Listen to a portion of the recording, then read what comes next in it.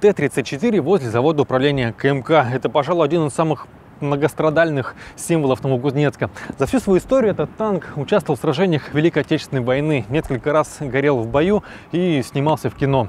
Есть также легенда о том, что как только его установили на постамент, он поворачивал по ночам башню и целился дулом в окна директора КМК. Конечно, потом ее заварили, такого больше не происходит. Сегодня этот танк остается символом героизма и мужества советского человека в бою, а также стойкости и самоотдачи в тылу. Но 30 тысяч новокузнечан при словах Т-34 представляют себе не это, а вот это.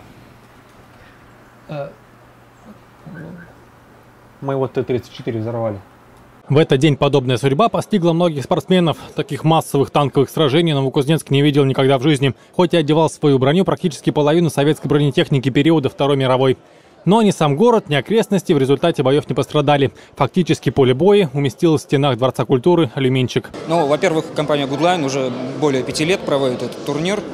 Э, и это вполне логично, мы растем. Если там первые турниры собирали 200-300 человек, то теперь больше тысячи, это уже для нас стандарт.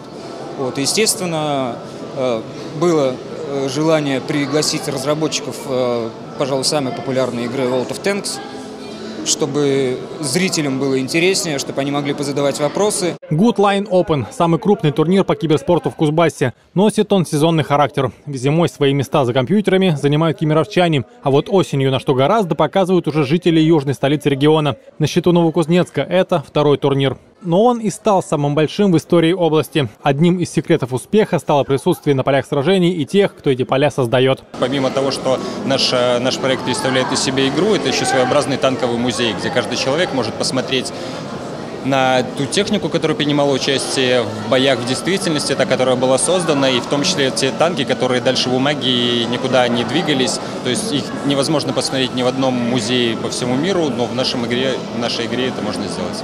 В общем, тут вам и игра, и история. Кстати, не танками едиными были сыты игроки. Полный набор современных игр, в которых можно было хоть и не показывать свою собственную прыть, но заставить прыгать от бессилия соперника на радость зрителям, которых собралось немало. Все-таки киберспорт – самый массовый спорт, хоть и мышечную массу не растит, но зато так или иначе занимаются им все, у кого есть доступ к персональному компьютеру.